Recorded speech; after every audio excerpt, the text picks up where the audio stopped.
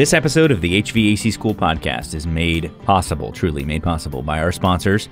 Carrier, carrier.com. We are carrier dealers. I'm proud to be a carrier dealer, and there's a lot to like about Carrier. You can find out more by going to carrier.com or talk to your local carrier distributor. Ours is Carrier Enterprise. Also, want to thank Fieldpiece for coming on board and supporting the podcast. I'm very thankful for their integration with MeasureQuick. Very wise decision that they made to work with MeasureQuick, and it really is a, a perfect marriage between their probes and the MeasureQuick app. If you haven't tried them together, I would suggest looking at their JL3 probes but also their MR45 recovery machine and VP85 vacuum pumps. We use a ton of them at Kalos. They really are industry leading products, very, very nice products. You're going to want to check those out. Find out more by going to fieldpiece.com.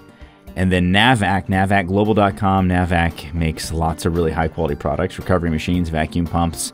They're coming out with a new line of hoses and some other products, but they also make a compact swedge tool that I actually am coming around to. When I first saw it, I didn't quite know how to use it and I didn't get the results that I was hoping for. But once I learned how to use it, it really is a nice swedge tool to keep in the bag. My oldest son just got his first Veto bag, and I'm gonna give him one of those hand swedges to put in his Veto bag. Nice tool. And then also, of course, they have their battery powered flaring tool that you're gonna wanna check out. You can find out all of it, again, navacglobal.com or by going to trutechtools.com, T R U techtools.com. If you find something you like, you can use the offer code GETSCHOOLED for a great discount. And then finally, Refrigeration Technologies, some of the nicest guys in the industry, John and Mike Pastorello, have built a great company out there in California with refrigeration technologies. They make great cleaners that do the job, but without any toxic odors and without the danger of harming technicians and customers. That's their Viper cleaners, especially the Viper spray can. If you haven't tried that for a coil cleaning in place, then I'm going to suggest that you give it a shot. It really is very nice.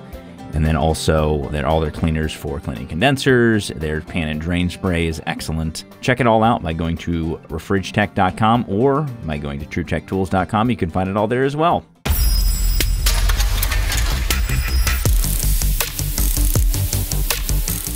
Seriously, his initials are B.O. for a reason. Bryan Orr. Yo, bruh. Thanks for listening to the HVAC School podcast the podcast that helps you remember some things that you forgot along the way, as well as helps you remember some things you forgot to know in the first place. I'm Bryan. This is a little podcast that we just cracked the 1.5 million listens mark. Thanks to people like you who tune into this. I really do appreciate it. I appreciate you telling your friends and sharing about it on social media. It means a lot. So many of you have said so many nice things. Some of you have said some mean things, and that's okay. It helps balance the yin and yang, the dark side of the force. So if you got something mean to say, don't hold it in. That's what my mother used to always say. but she was a Sith Lord. All right, so today on the podcast, I am talking to John Oaks. John is a technician in Utah, really good technician, guy who I've interacted with online, the resident memologist at HVAC school, but also just a good, solid dude. It's one of the admins on the Facebook group. If you haven't joined that yet, you can interact with John there. But today we're talking about VRF and kind of a real world look at what John knows about VRF and what he runs into every day. So here we go. John Oaks talking VRF. Okay, so just to set the scene here, there's some podcasts that I do where I'm at my office studio and they're set up with uh, luminaries of the HVAC industry. And then there's some that I do because I'm trying to fight a technician into coming on. And I don't know that I've fought with anyone longer than you to try to get you on the podcast. I literally have guests in my house. Do you know Corbett Lunsford by any chance? Have you bumped into him online at all? Probably. The name doesn't ring a bell, but I'm sure his profile picture I recognize him. Better with faces than names. Yeah, he's a friend of mine. He has a tiny house and it's parked in front of my house right now. And I scheduled this with you knowing that he would be here and knowing that I would have to walk away from visiting with my friend because I did not want to miss out on making sure that I got this done. So, the whole point of all of this witty banter, if, if that's what this is, is just to let you know that this is a priority for me and it better be good. I've been told that I'm good at putting people at their ease. How's that working for you? Hey, I have some expectations now, so that's always good whenever it's your first time at something to have a lot of expectations. I learned that on my honeymoon. Works out really well. Today we're talking about VRF. We're talking about variable refrigerant flow systems. Or if you're Daikin, VRV, because you just got to be a little different. Well, they were first, actually. I think everybody else glommed onto the VRF thing after they already set the tone. They were first. They're still different though, but that's okay. You're saying literally Daikin VRV systems are significantly different than other VRF systems, or you're just saying they're the only ones that call it VRV? No, they just copyrighted that name. So they have it, but they invented VRF or VRV back in, I think, 82. It just hasn't really been on this side of the world in our market till just recently, last decade or two. 82 was a good year. 82 was a good year for several things. You born in 82? I was. It's a good year. Lots of good music. Madonna was in her prime at that point in time. Be careful, Bryan. You don't want to date yourself here. I wouldn't want to date myself no matter what. Enough about the VRV history. I have a list of questions here and we're going to work through them. Okay. You ready? Let's go. First off, I want to ask you this question, which is what the heck do you do day in and day out? Because I know you do a lot of VRF, but what does that look like? So I am on the service end of things. Typically with VRF, you're going to have people that install it, which is going to be setting outdoor units, piping. Well, for Mitsubishi, it's piping between the indoor unit, which would be the branch controller, and the outdoor units, and then running line sets to all the indoor heads. And you're also going to have control guys that are running the daisy chain, setting up central controllers, programming the individual units, doing startup, calculating the total charge for the system. And then once they're done, they all walk away and move on to another job. And then we have this building. Sooner or later, things start to go sideways, and that's when service gets involved and find the leaks, recharge the units, change the filters, wash the coils, and troubleshoot any issues that come along with the systems. And so I'm on that end of things. I'm actually probably really bad at the install end, but as far as troubleshooting these systems are pretty complicated, or they can be, you'd think. That's kind of the part of the industry that I've gotten myself into. All right, so let's do some quick definitions. Well, I'm not going to waste a lot of time explaining what VRF is because you're listening to a podcast that's about VRF, so you must know something about it. But essentially, the way that I like to explain it quickly is just if you've ever seen ductless or mini splits, it's basically like using that type of system, but in a larger commercial environment where you have multiple combinations of air handlers or heads. But you mentioned a couple things that I want to nail down. One of them is a branch box. So for somebody who isn't familiar with what a branch box is, how do you explain that? Each brand is going to do that a little different. Again, my specialty is Mitsubishi. And so basically, you have a compressor or compressors running outside. Obviously, compressors pulling in suction, putting out discharge. And depending on the mode that it's in, whether it's in heating mode or cooling mode or some combination of both, the branch box is going to be taking that and directing it. So, units that need heat, it's going to be directing discharge gas to them. It's going to be getting liquid back from those units that need cooling. There's zones that need cooling. It's going to be sending liquid down to them pulling suction gas back. It's got some subcoolers in it. And basically, what those are doing is any liquid that's coming from the outdoor unit, if it's in cooling mode, sending liquid from outside. It's going to subcool that liquid through these, and it's going to just try and maintain the pressures. And it's got a lot of valves in there, a lot of solenoids. It's got several LEVs, and it's basically just directing traffic between all the indoor zones. And so in Mitsubishi, the branch box is what allows it to simultaneously heat and cool. And so they actually have a more basic form that doesn't have a branch box or branch controller called Y series. Very similar outdoor unit. And you can, same thing, connect a bunch of indoor units. They just all have to be in the same mode, all in cooling, all in heating, all the ones that are calling, anyways. So the branch controller is basically just a lot of copper piping and valves. Yeah, and when you mention that every manufacturer does it differently, this is one area that is done differently depending on the manufacturer, but often in ductless, we're used to having the metering devices being in the outside unit by the compressors, and what we would traditionally call the condensing unit. We're used to having our electronic expansion valves out there, even in multi zone ductless. In many cases, uh, maybe in all cases, I'm not 100% sure, but in many cases at least, the metering devices are actually either in the branch box or in the air handler fan coil, you know, wall mounted unit itself. And I don't actually know in Mitsubishi, is the metering device in the branch box or is it still in the air handler? if you were in heating mode, you discharge gas from outside, go through the units, you get liquid back, run it through the subcoolers, get heavily subcooled liquid. There's a metering device in the branch controller. It's going to flash that to saturated suction gas, send that outside, run it through the evaporator outside, then back to the compressor. And again, this is one that every manufacturer does way different because Mitsubishi is a two pipe system where in some modes, one of their lines is discharge gas, and some of their modes, it's going to be a liquid. And so we'll probably talk about that more later. But now in cooling mode, the metering device is just going to be all the indoor heads that are cooling. And so it's just going to take that suction gas and just run it straight to the compressor outside. And in that mode, the outdoor coil is going to be a condenser. In either way, with VRF systems, you're not metering it at the outside unit. You're either metering it, depending on mode, at the branch box or at the head. And I think there are some that even in cooling mode will actually do the metering within the branch box. I can't be 100% sure. Again, I've been through training on a lot of these things, but I've only worked on a handful of them. But one thing that I think does differentiate ductless from VRF is that in general, when we say VRF, we're talking about commercial applications and generally three phase. Although I do understand that Mitsubishi has a category of single phase, what they call single phase VRF. And I don't know what the difference is between that and typical ductless. Are you aware? It's interesting the lines between commercial and residential start to blur in this because in theory you could take a commercial unit like the ones you talked about that would run on a lower power supply and if you fed them you could easily run a house on it I mean, they make these condensers that are like a six ton condenser you could run a house on, no problem. But what I deal with is typically on the commercial end. I haven't dealt a lot with the ones that are designed for residential. I know that a lot of the manufacturers have a mini split design with multiple lines, which is more like that Y series I talked about. What do they call them? Like multi splits, where you've got like a couple uh, port connections at the condensing unit or the outdoor unit we're not going to spend too much time focusing on that. I think there's going to be a much larger majority of techs who will have worked with ductless. And so I'm kind of trying to give them a vision of what this looks like. But the next thing, so there's the branch box. It's sort of in between the air handler, fan coil, head, whatever you want to call it, and the outside unit where the compressors are located. The branch box in between. But then you mentioned daisy chaining controls. And that's something that I think a lot of techs who mostly work on residential aren't going to be familiar with. So what does that mean? On a traditional system, it's going to be driven with a 24 volt kind of signal. A lot of the newer modulating systems have proprietary communicating controls.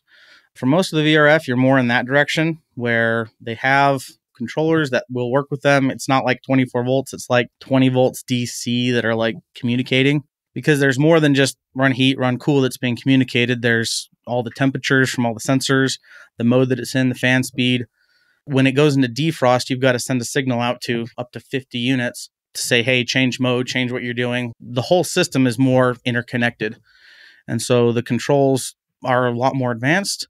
Other commercial type systems might have a more basic control. Like a lot of rooftops could be run on a residential type thermostat, but then you can have a BMS system that can take over that and run it. Where a lot of the VRF has like an onboard communication that could be standalone where it could run everything if you just put the thermostats in that the manufacturer has?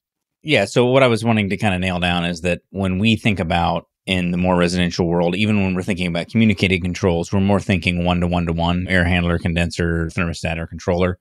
In this case, you're taking multiple components and you're taking control COM wire and you're just basically connecting them all together. And then you're programming it at the controller with the different whatever the addresses are for the different you're essentially addressing all the different units in programming and in essence, in most cases, you're really literally just looping a COM wire, interconnecting everything essentially. I mean, and not everything, everything, but a lot of different components are being connected in together. And then you're essentially sorting them out when you address them in the control. At least that's my way of understanding it. Tell me if I'm wrong there. Yeah. So every unit, the outdoor units, the branch controller, all the indoor units will have an address and they've got rules of this address has to be in sequence with these addresses and this type of unit goes in this address range and they've got rules like that. But they're all daisy chained together they're all fully communicating.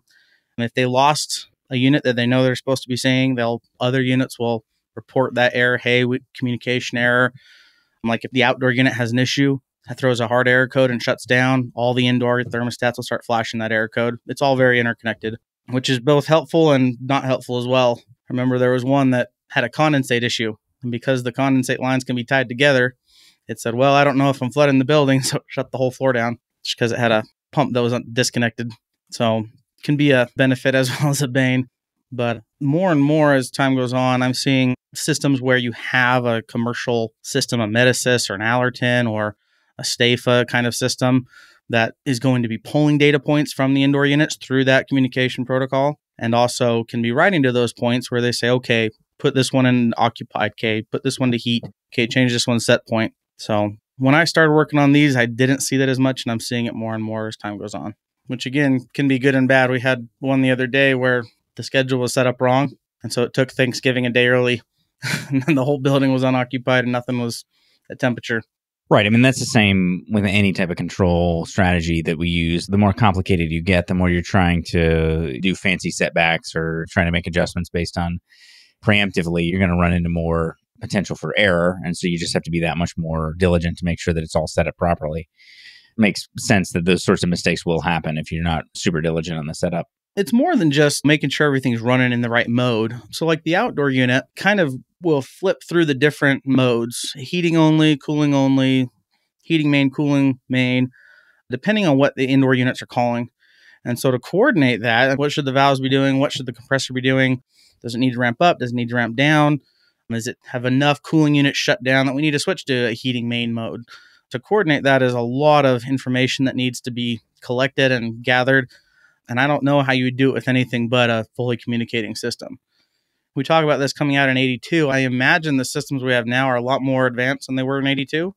The manufacturers, as time goes on, we're seeing as more and more technologies become more mainstream, I just see these keep getting better and better. What they can do compared to, I've run into a couple buildings that had systems from 10, 15 years ago. And I'm floored with how much more sophisticated the new ones are coming out now in just even that short amount of time.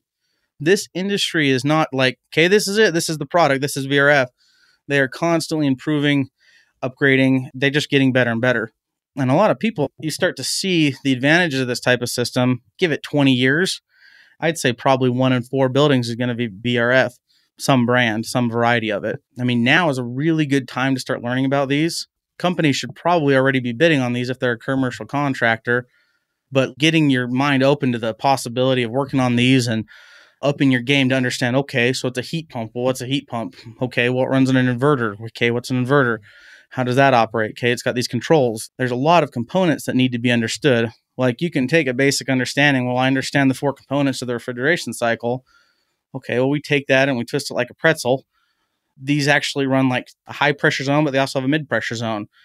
And they're going to have your basic components, but it's we've got systems where in the right mode, if you've got units that are heating and some that are cooling, I mean, you might not have refrigerant going through the outdoor coil at all all the heat transfer maybe from this zone here to that zone there. And then the suction gas goes back to the compressor. Very different from what you would see in a standard commercial rooftop, a standard commercial condenser, residential systems. I mean, even some of the more advanced systems like some of the geothermal systems. I mean, the complexity of these is starting to approach for the comfort cooling end. You're starting to see more components that are like you'd see in a rack grocery store. But it's a good time to be learning about these and to be getting out there it really is a wonderful opportunity to expand yourself as a technician and give yourself a place in the industry in the next 20 years. You pulled a Jim Bergman on me just there. What, saying in the next 20 years? Do you know what a Jim Bergman is? What's a Jim Burger? Not Jim Burger, Jim Bergman. You know who Jim Bergman is, right? Feel like a cheese, no, Lindberger. I know who Jim Bergman is. yes, I know. Well, Jim Bergman is when you start off on a technical subject and then you end up spinning into like this really in-depth like positive industry-wide motivational speech so that was good i'm very motivated i want to go work on a vrf system right this second i want to go find one right now and go work on it do they have capacitors because i know how to change capacitors i'm really good at that so like the inverter boards i tried to count up how much capacitance was on one of those it was like 25,000 microfarads between all the capacitors on the inverter board. Whoa, that's way too many microfarads. And they're all like soldered to the board. Wow, that's a lot of them. Some of the indoor units, some of the indoor blowers are run on inverter boards. No more PSC motors, which is actually kind of trippy because you can't even tell when they're running. What do you mean you can't tell when they're running? Just because they run so slow? I've been sitting there waiting for one to kick on. And then I'm like, is it even running? And then I reach up my hand and I can feel just a little bit of airflow coming out. I'm like, hey, it kicked on. When, how long has that been going on? Where, you know, when a PSC motor kicks on, you can hear it down the hall. Yeah, well, I mean, that's sort of like ECM motors that we've worked on in residential for a while. I mean, that's basically what an ECM motor is. It's just a inverter drive or a VFD coupled to a three phase motor, basically. Right. Anyway, I digress. Next question that I want to ask you is one of the first things whenever you have a new technology, and we've seen this a lot with flare fittings. That's one thing that we saw in ductless, and I'm sure that's carried over to VRF. Is just if people didn't know how to make proper flares, that became a nightmare for those of us going back later trying to deal with especially these systems that have total charges is significant and when you have a vrf system you've got a lot of refrigerant that's shared across many different heads and leaks can cause a real problem so what are some of the most common installation errors that you've run into and you've had to correct as you've done more and more of this well charge on these is pretty critical because it's not as simple as well and block the outdoor coil kick it on and check your subcooling if there's a charge issue the problem that these systems have is they're too smart. Like if it's low on charge, it just slows the compressor down and the pressures look normal. It just it's moving less refrigerant, but the suction pressure comes up and the head pressure comes down, and it can mask those problems really well. So how do you deal with it? Like you're not weighing out total system charges if you have a system that's got a leak in it or a little bit short on charge. How do you deal with that? So each manufacturer is a little different. I know Daikin has like a charge mode where it will tell you add gas, take gas out, and it will take the guesswork out of it, which would be nice. I wish Mitsubishi had that. For Mitsubishi, they've got a couple options. Obviously, the most accurate is they have what's called the Diamond System Builder, where you punch in, you're like, I've got these outdoor units, I've got a branch controller, I've got these indoor units that are these models. I've got this many feet of line set, it's this size, and you punch in all the information. It says, okay, your total charge for the system is 162 pounds. You need to add 112 pounds or whatever. And it's there and it creates a record. It's permanent. You save the file. And if you ever have a question down the road, I mean, you'd hope it'd be written on the unit, but even if it's not, those get filed with Mitsubishi. You can hunt it down and say, okay, here's my charge. So if there were ever a question, or if the system were empty, you know, had a massive leak, or you needed to change compressors and you had to pull it all out, you can compare that and weigh that amount in. Now, that's impractical if it's in the middle of the summer. You just want to check. And so they've got a mode called refrigerant adjust mode. You kick it in the mode, put everything in test cooling mode. It stops modulating as much. It goes into a more stable mode. Compressor frequency kind of doesn't fluctuate as much. The indoor metering devices stop opening and closing so much. They don't hunt as much. And then once it's all stabilized, you just look and you say, okay, my compressor discharge should be above this, below this. My subcooling in the branch controller here should be above this, below this. And here should be above this. And if everything checks, the system's roughly charged correctly. The really hard time to charge them is the middle of the winter because you can't do most of those. And so you can always charge it till the numbers look decent, but you usually want to go back and charge it when you have better conditions, either pull the whole charge or go through the refrigerant adjust mode getting the correct amount of charge in there is critical. Like I've run into some systems where I don't know exactly what happened. I think people rounded up on line set lengths. They used a 75 foot line set, but they cut off 15 feet, but they listed it as 75. So they listed too much line set, told them too much charge. They charge it to that amount, and then that's too much. And so with anything, if you put garbage into the calculator, you're going to get garbage out. So the people that are installing these, there's a great deal of care that needs to be taken while you're installing them, planning that goes into it, accurate notes, accurate red lines. It doesn't react well to being installed poorly. We'll put it that way. I mean, if there are leaks and you lose charge, again, you have run into the issue of charging it correctly after that. Have you run into a lot of challenges with leaks after installs? So, for a time, Mitsubishi was using flares. And I personally like flares. I know there's some people that love them, some people that hate them. I like them if they're done right, but I've had to fix a lot of flares that were leaking. You go, you look at the branch controller because you got 32 flares up there. You can look, spot the oil, pull the line down, redo the flare. Done that a lot. I've probably fixed 50, 60 flares at this point. Anymore, they're all the new systems coming out are the majority of the connections are brazed now. But the double edged sword with that is it's not as easy to create a braze joint that's going to leak but if, for example, if you don't flow nitrogen while you braze, these systems are different from any system I worked on because I mean there's screens throughout the system, little wire mesh screens inside the different points, but there's no filter dryers. Like that stuff just just gonna keep circulating around until it finds something to plug up, whether it's an oil pickup screen or a screen out to an LEV or something like that. And so again, they don't respond well to being poorly installed. It might not be in the first day, week, month, but you give it long enough and you'll plug something up, you'll lose oil return, and then you'll be changing compressors. Yeah, the other side is is that with braze connections, and I'm a fan of braze connections, but the challenge in commercial is now you're going to have so many braze connections, and if you have a leak on one and you go back later, well, now you've got to bring your torches into a commercial building, and that can cause a lot of heartache bringing torches in and making a fire inside of a commercial building. And there's a lot of restrictions that are involved there that aren't fun to deal with. So, as much as I prefer brazing, I do kind of wish that we would just get better at making flared connections because it does eliminate some of those problems. Well, and the majority of the repairs I make, I mean, other than maybe adjusting charge and tightening a flare, which is rare anymore because a lot of the connections are brazed. And the vast majority of repairs I make on one of these is going to be in the refrigerant circuit somewhere and it's going to be brazing. And so if this is something you want to get into, I mean, your brazing skills need to be spot on because there's a lot of sensitive components that they have in here. I mean, they've got transducers, they've got LEVs, they've got solenoid valves, they've got everything from inch and five eight lines all the way down to like eighth inch line capillary tubes. I've had up my game when it comes to brazing with this, but it's good. It's something that I feel someone could very easily specialize in and get very good at over time. But how do you? Well, that's what you've done, right? Well, I'm working on it. Every time I think I've got this stuff figured out, something else comes out and you got something that kicks your butt and you got to up your game again. So at one point, I would have said, Yeah, I'm great at this. Now I'm just like, I'm doing okay. I'm doing okay. And I think that's something that's kept a lot of people away from it is when you start looking at it. I mean, there's a learning curve. There's a steep learning curve right up front.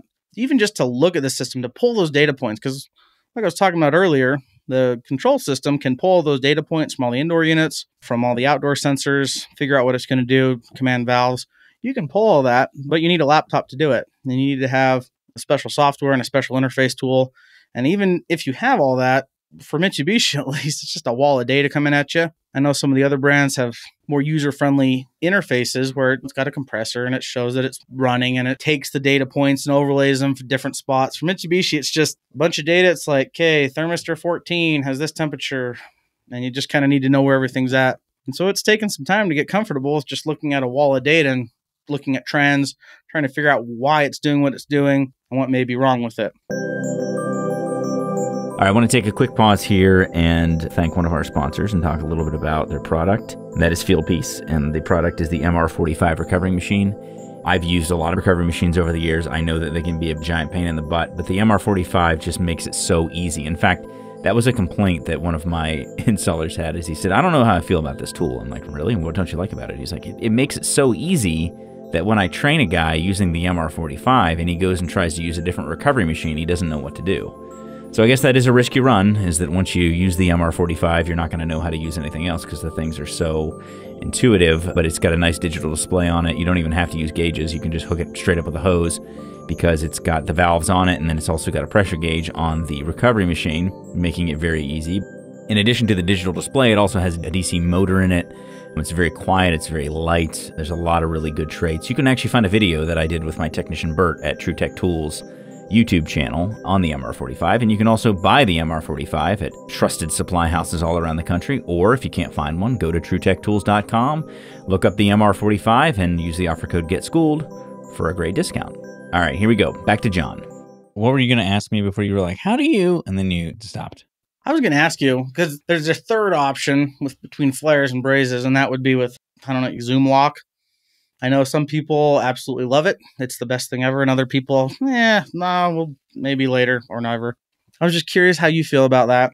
I think it's something that I think it's coming. I tend not to be an early adopter on things that have really high risk. I think there's certain applications that it's worth looking into. I mean, as you and others know, Zoomlock was once a sponsor of the podcast, and I am not opposed to it. I think it's a good technology. I think they did a good job with it. But the challenge is, is that there's been mistakes made. And so there's some very large retailers, of which I will not name, who are customers of ours, who strictly ban it because there's been issues. And I think the issues are largely due to installation practices. I don't doubt that. But like anything, if you're going to do something that's very high risk, you got to get it right. And I think manufacturers who bring products to market need to be more hands on to make sure that it is right when the risk is high. And so I think it's coming. I think the day will come where the majority of the connections that are made in the industry will be flame free. There's reasons why you don't want to pull a flame out all the time. There will always be the need to use a flame. They're doing repairs and things. You're going to need to know how to braze. That's necessary. But I do see a future at some point where we're going to make connections that are fairly easy to make using specialized tools that aren't going to involve either making flares or having to pull out your torches in order to make initial installed connections. But again, it still comes down to how you actually apply it. Do you do it the way that it's supposed to be done? Otherwise, it's going to leak. That's just always going to be the case. So, what are your thoughts? I think that'd be great as much as I enjoy brazing, I've had brazing. You can get burned. You can cause issues with the piping. You're sitting there catching an insulation on fire. You're like, I don't enjoy this. so, no, I, that would be fun. That would be nice to have that come down the pike. But with all those that we just talked about, flares and brazing and ZoomLock mechanical fittings like that, if they're installed improperly, any of them, there's problems that they create. So, whatever you're doing, make sure you're doing it correctly. Make sure you have a tight, dry system. Because here's the thing we talk about the problems, but I have systems that they were installed properly, the charge is correct, and all the joints were put in correctly. And other than looking at it and washing the outdoor coils and changing filters, I have had zero repairs on them going on like five, six, seven, eight years. I'm sure something will break sooner or later, but you just kind of look at it, you're like, yeah, it's just doing its thing. No issues. It's just doing everything it's supposed to. It's held temperature constantly, zero issues. When things are installed like that, yeah, I mean, you'd wish every system, every building was installed that way. I mean, if every system got installed that way, I don't have a job, but And that goes back to the old like, even if all else fails, we have a job because we're the janitors who have to take the stuff apart and clean it every once in a while. So we're always going to have a job. well, there's no capacitors to change, Bryan. So Yeah, that is true. that is true. I, that's all I ever do is I just I open up an air conditioner and I just look for the failed capacitor, and if it doesn't have one of those, then I just put it back together and I tell them they need a new one. It's worked well for me so far. That's how I built my podcast empire. on capacitors. Yes, yes, literally on capacitors built on a giant pile of failed bloated capacitors. Okay, next question that I have for you is condensation because condensate removal is something that scares me to death with VRF. You're still laughing. You haven't gotten over the capacitor thing yet. Well, I just find And I feel like a meme is going to come out of this. Would you like a meme out of this? I would actually. You do the thing. Here's the other thing that you do because you're a very polite person. You do the same thing that Andrew Reeves does when he's on the podcast, which is that as soon as I start talking, he just stops talking. And you do that same thing. And you've got to learn that in order for this to be good, you've got to talk over me. That's the definition of a good podcast. When you just get trampled as a host. right. All of my most popular podcasts are with Jim Bergman, and he it just eviscerates me the entire time, and it's great. So I will keep that in mind. just a quick reminder I'll there. start thinking about a meme for this situation. Bryan on the top of a giant pile of capacitors, just like with a flag in it, just be like, Carlos.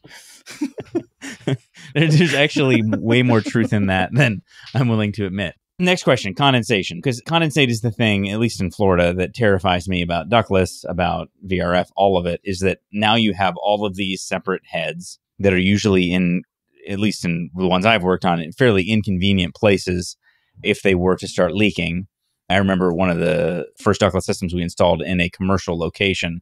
We put in a office in a grocery store and then, like six months later, it was actually leaking onto their security computer that they placed right underneath this head, and nobody was happy. So I've had a lot of terrified moments in my career since then. So talk to me about condensate, condensate removal. Do you have issues with that? What do you run into? So a lot of the units can be drained or can run your condensate two different ways. Under all the coils, you're going to have obviously condensate pans. And at one end, the lower end, it's going to have a connection. You can run a gravity drain and just drain it away like you would in anything else. And you know the rules that apply. You can easily put a clean out, blow it out with nitrogen, do whatever you're going to do. A lot of the ducted units, so they make moderately high static duct 0.5 inches, 0.2, 0.6 ducted units. They will have a pump in them. And so you just cap the gravity drain when the pump float sees that there's condensate or however it's detecting condensate kicks on. It actually usually has a connection at the top of the unit. then you're supposed to go over like a little hump and then it gravity drains from there. And to be honest, I have had a grand total of zero calls that were related to a backup in the condensate system. Now, in Florida, they probably would create a lot more condensate than they do here. And it would be a larger part of. I'm in Utah. Utah's very dry. And so in Florida or other humid places, I imagine it would be a more regular type of service call. But at that point, they've got a pump. You can easily pull the pan, look at the pump, replace the pump. The units that don't have onboard pumps, you can easily add a aftermarket pump. There's a whole different variety of them that are designed for mini splits and things like that. So in that regard, I don't know if you'd have issues in Florida with that. I know here in Utah, where it's still relatively dry, the only time I've had issues is there was one where the pump was unplugged for some reason, and the resolution was plugging the pump in, then it cleared the error and started back up. And the other was it was thinking there was condensate when there wasn't because it was detecting the condensate in a really weird way. Had a thermistor in the pan, and so it was getting wafts of cold air, and it thought there was condensate, and it couldn't get rid of it, and it tripped out. But actual condensate, it's not been an issue. Now watch, because of that, I'm gonna have one like in a week, and I'm gonna be cursing you because I'm gonna have to like cut open these copper lines and blow them out with nitrogen. Now, what kind of cursing will you be doing? Is it going to be like modern profanity or is it going to be like old school 17th century cursing? Like, may the fleas of a thousand camels. Well, you need to understand that here in Utah, cursing is not cursing in other parts of the country. Cursing here would consist of like a mean look and like a strongly worded letter, something like that. Like consternations of you. A strongly worded email that said something like sincerely at the end instead of God bless. Well, it's 2018, so it'd be a meme, but yeah. right, right. Okay. If that happened, there's going to be a meme. It'll be everywhere. Yeah. So those of you who don't know, John, I've dubbed him the resident memologist of HVAC school. So anytime there is something that's meme worthy, John makes one. Recently, I was actually shown as Vladimir Putin in one of his memes, which I think was intended to be positive, but I don't know. That was interesting. If you go to Russia, Vladimir Putin is like a hero over there. They show him in like topless photos, like wrestling a wolf. Like that's a very uh-huh. good thing. Maybe. okay. No memes of me topless wrestling a wolf, please. Okay. Ladies, ladies, calm down. What type of buildings are these that you're working on primarily? Like, what is the use of them? Typically, VRF could be installed in a lot of different applications. It's best suited to commercial buildings where you have some interior zone that's going to be heated or cooled year round. Most commercial buildings have a core where they put conference rooms, where they put all the cubicles, where they put server rooms, electrical closets, lights. There's a core of the building that's going to just need cooling almost all the time. So for a VRF system, I mean, usually you'd say, well, we got to have some cooling in there and it's an inefficient thing. For a VRF system in the middle of the winter, I mean, that's your heat source. You're not pulling your heat from outside typically, you're pulling that heat and then some from outside and then heating the building with it. So office spaces, doctor offices, I've seen it a lot in hospitality where you're going to have apartment buildings, uh, old folks homes. I'm thinking through the different buildings I have. I have one place that was like a had ballet studios and a spa, yoga studio, stuff like that. Typically, it's going to be commercial buildings. Typically, it's going to be where you have some part of the building that's not touching the exterior. You have small zones that are not necessarily sharing air, so offices or separate areas that are blocked off in some way. Large open spaces like, I don't know, large Grocery stores? grocery stores, banquet halls, warehouses, those are better served by different types of systems. Not that I'm sure someone hasn't tried, but so usually it's some mid range commercial atmosphere. Yeah, so a little bit of fragmentation usually within the spaces. And so you name the applications that I think are best suited. Maybe even on the residential side, maybe multifamily condo type applications in some cases, hospitality, medical, office space, anything that you have a reasonable amount of diversity too. As the diversity goes up between the zones, the efficiency of the system increases. And as the efficiency increases, the compressors actually work less hard and it's less wear and tear on the systems. Whenever they're in full blown heating or full blown cooling, that's the hardest they work. But in the shoulder seasons, when it's part load, some heating, some cooling, north end of the building is heating, south end of the building is cooling, it's got all the windows, solar load. That's when these things just shine, which is ironic because other systems that are sized for the absolute hottest or coldest part of the year, that's when they struggle because they short cycle and they're way oversized. VRF systems really do well in that environment. So it's interesting. So yes, diversity. That was something that I learned early on when I went to VRF training with Mitsubishi, and that's just the idea that you have different. Generally speaking, you're going to have heating call in one zone, cooling call in another zone, and you especially see this in commercial buildings where you may have a call for heating in some of the central zones, and then maybe even cooling on the external zones, or vice versa, depending on the load conditions. And then, like you mentioned, you'll have uh, diversity that will occur because of the sun going across the horizon, et cetera, et cetera and that is where these systems work really well. And I wanted you to address this quickly this whole two pipe versus three pipe thing. You addressed that a little bit at the beginning of the podcast, but I think most of us have no clue how that works. How could you possibly run something that is operating in both heating and cooling on the same system with only two pipes going inside the building? That doesn't make any sense. The system I specialize in is Mitsubishi City Multi. It's a two pipe system, meaning there's two pipes between the branch controller or the branch box and the outdoor unit. Most other systems are three pipe, and the three pipes would be one is for discharge gas, which is high pressure, high temperature, one is for suction gas, which is low pressure, low temperature, and one is for liquid. And depending on what mode they're in, each indoor unit is going to be tapping into two of those. And some of them will have those piped directly to the unit. Some of them will have them piped to smaller branch boxes. In Mitsubishi City Multi, so the two easiest, I guess you could say, would be just straight cooling, which is going to be doing the same thing. I mean, let's say you have 10 units and eight of them want cooling and the other two are off. It's just going to hot gas from the compressors. The discharge gas is going to go through the outdoor unit, be condensed, liquid into the branch controller, picks up extra subcooling out to the units.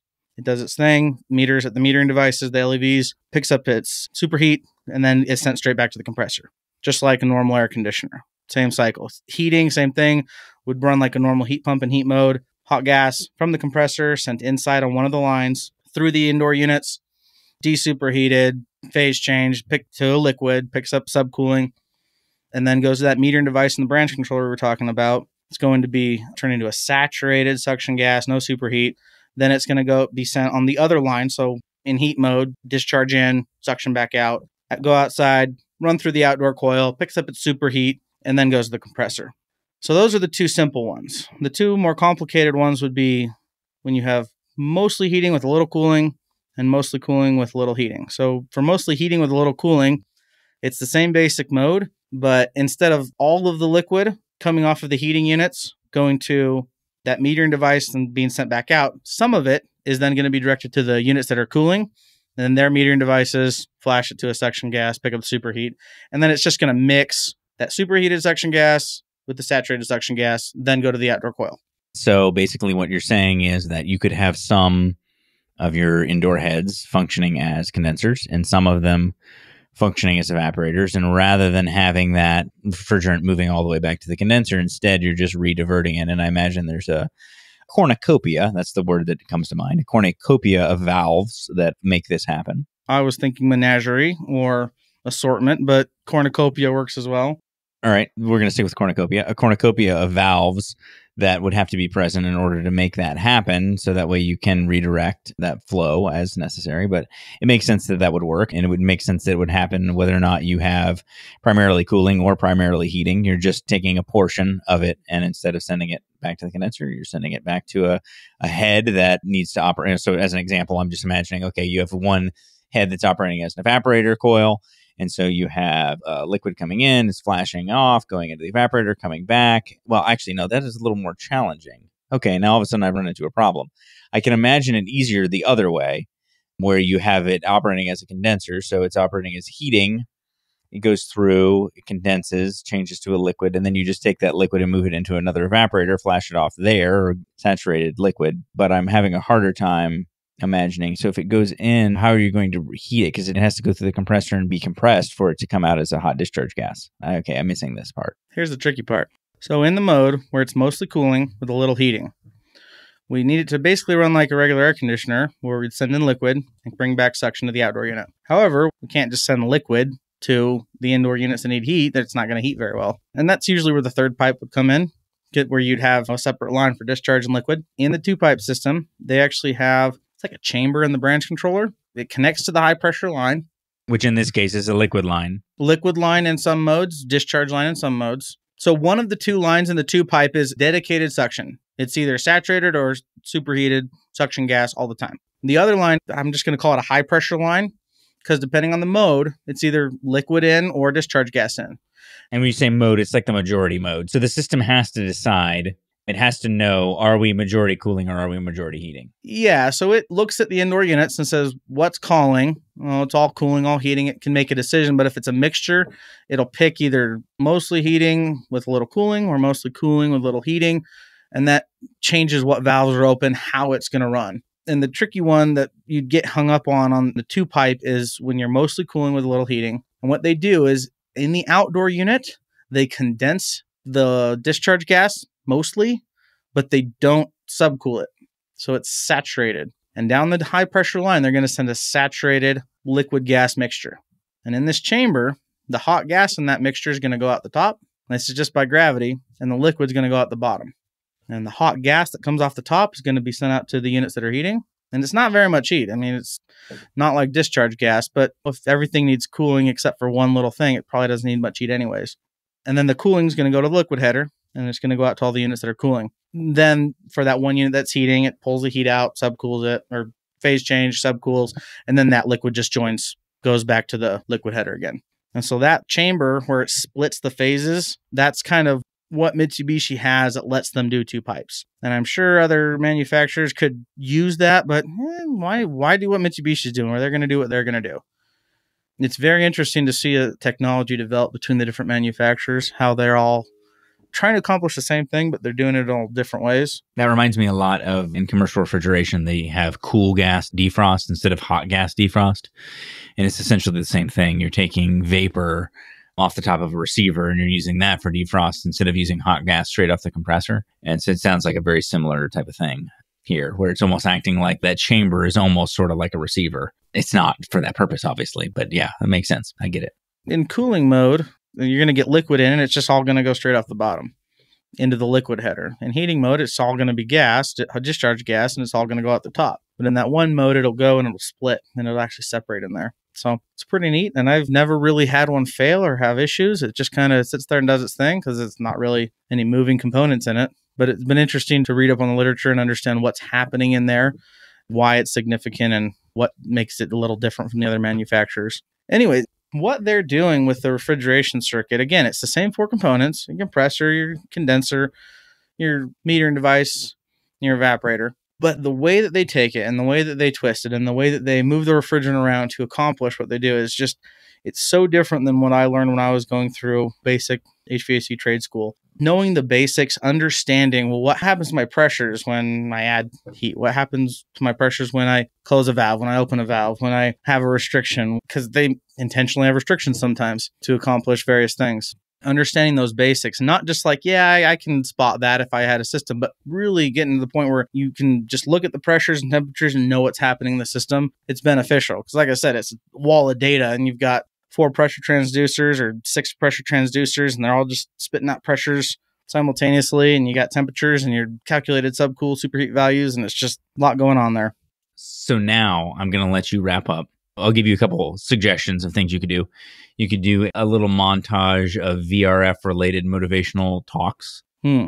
You could just give an, a general inspirational speech or quote. You could talk about some other question that I should have asked you that I didn't ask you about VRF, whatever you so choose. But this is your closing statement. VRF is good stuff. And the HVAC School Group is a wonderful vehicle for education. I'm happy to be on the podcast. And if you've thought about VRF and you don't think it's for you, think again because whether we like it or not, it's something I think more and more of us will be experiencing in all levels of the industry from residential to commercial. So it's a good time to begin learning about it and honing your skills. And there's my quote. There you have it. Everybody, Jonathan Oaks, insert um, clapping right here. Oh, man, I don't have a clapping sound effect that I can add straight in here. This is, I mean, I've got this. Oh, that's not. No, that's terrible. That is terrible. No, that's not. That, does, that doesn't. I've got this. No, that's not. Sorry, I've got nothing for you here. I'll have to add it in post production. You have had sound effects this whole time, and you are just now bringing them out. I do. I do. I have a whole bunch of. Yeah, I've got. I've got this. What do you think about that? I think that that is what you you play that right before you ask a question. That would be much better. Oh, okay. All right. Well, hey, John, thanks for coming on the podcast. We're going to talk more about VRF in the future. I've actually got, I don't know if you know Jordan Cummings. He's a Daikin guy. Yes. We're going to have a Dad Burn series of VRF podcasts coming up. We've got Jordan Cummings coming on the podcast. He's going to talk about VRF design, which is something I know nothing about. And that's what he does day in and day out. And hey, maybe you'll even learn something, John. Yeah. Well, the design end is. I mean, I doubt it. I can appreciate a good design, but if you were asking me to design one, it would be terrible you would use Mitsubishi Diamond Builder, right? Isn't that what it's called? VRF is a team effort. And I am a part of that team, but I am not the whole team. That's why there's no I in VRF. Well, if you spelled the whole thing out, there's an I in variable, and there's at least one I. Huh. Yeah, good point. And I guess the I is me. Mm-hmm, the eye of the tiger. Well, the eye of the refrigerant. All right, John, thanks for coming on the podcast. Bryan, it has been a pleasure. Yeah, always, always. And we're going to do it again sometime soon. Do you have any dad jokes that you'd like to end with for us here? Do you have anything that's just burning a hole in your bonnet? Well, whenever someone is trying to rush me, I just tell them they'd be a terrible doctor because they got no patience.